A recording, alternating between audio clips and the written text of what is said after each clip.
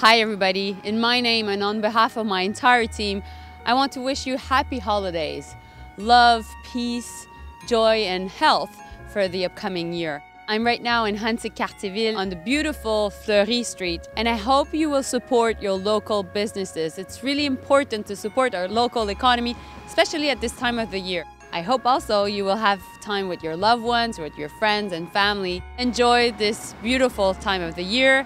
Happy holidays and hope to see you in 2016 in Ahuntsic-Cartierville. Thank you.